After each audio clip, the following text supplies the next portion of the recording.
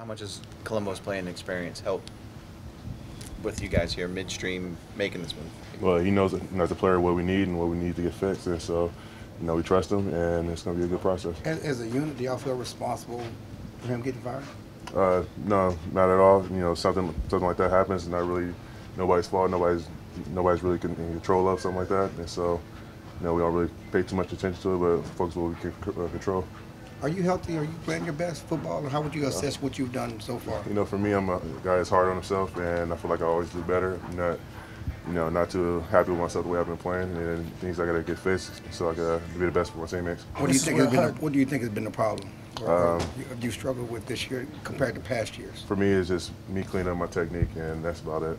This is so where Hud- I, I gotta get going, guys. Thank you, Thank you, thanks, Tyler. man.